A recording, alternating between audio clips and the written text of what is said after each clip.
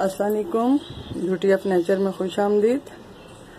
आज हम आपको मीठे के प्लांट के बारे में बताएँगे, मीठा स्वीट लाइम। वैसे तो ये प्लांट खेतों में लगाया जाता है और मीठे की बहुत अच्छी काश्त होती है। मीठा स्वीट लाइम जो है, ये बुखार के लिए सबसे बेहतरीन चीज़ है।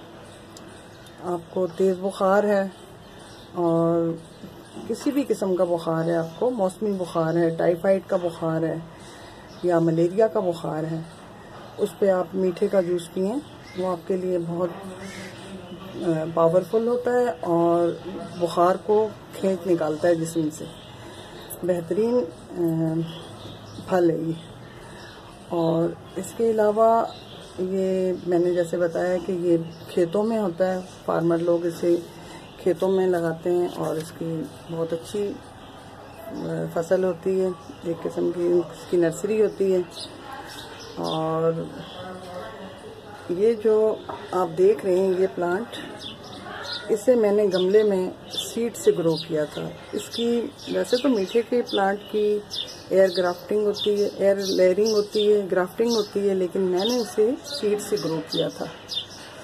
और ये तकरीबन मेरा दो साल पुराना प्लांट है। इसे मैंने सीड से ग्रो किया था। ये आप देख सकते हैं। ये आप इसे देख सकते हैं। इसकी हाइट तकरीबन चार फीट के बराबर है। अंदाजन। और ये जो ब्रांच आप देख रहे हैं, ये जो शूट है, इसे फार्मर लोग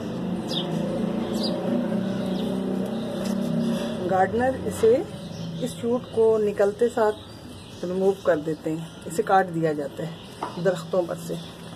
क्योंकि उनके कहने के मुताबिक इसमें फ्लावरिंग और फ्रूटिंग होती ही नहीं, और अगर होती भी है तो बहुत कम।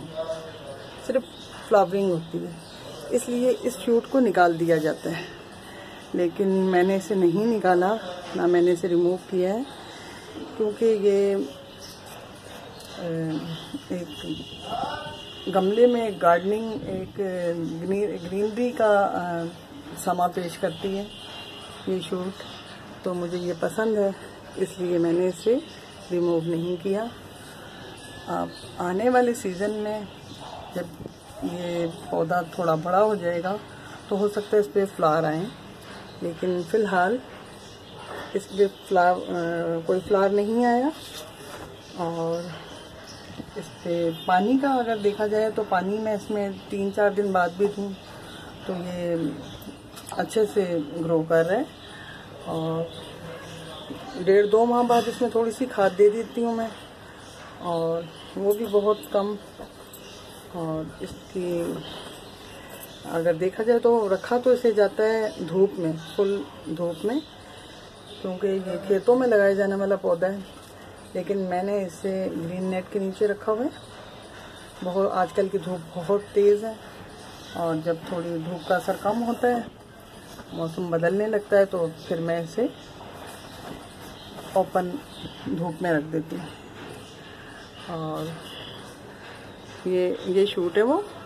ये देखिए, ये वो शूट है, जो बहुत तरोताज़ा है, बहुत फ्रेश लेकिन मैंने इसे नहीं काटा।